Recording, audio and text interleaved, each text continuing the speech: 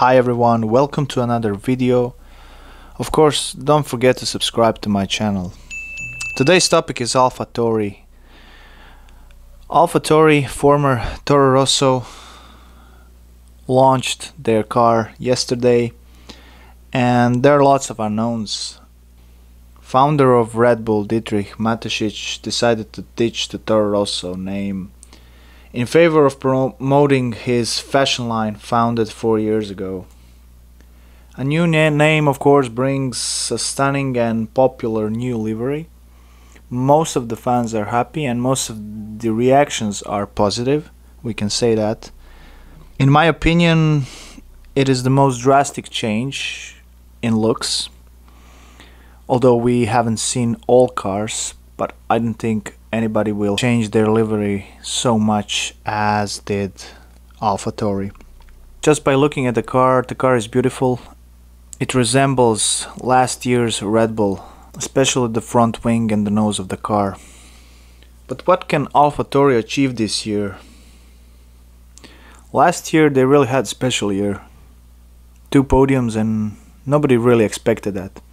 So they will probably need some crazy races to achieve that again although Gasly and Kvyat, are really positive and really optimistic about their chances. And also, we can say that Toro Rosso or AlphaTauri really had a positive vibe to them last year, and I think they are going to translate that into this year. They said they want to challenge for fifth in the constructors. I think it's possible, but they will have to be really up there with developing the car like they did last year. Last year's development was really good, especially as they have really good aerodynamics department and help from Red Bull is always here.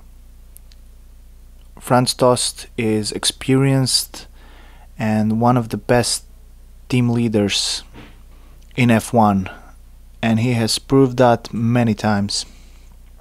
Despite having underperforming car, the team was able to be on the podium three times in their past. So if we are going to have two or three crazy races this year like we had last year, I think Toro Rosso is the first team that could profit from that.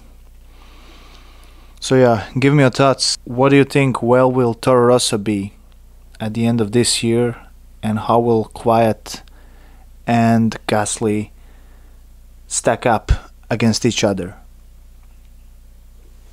Till next time.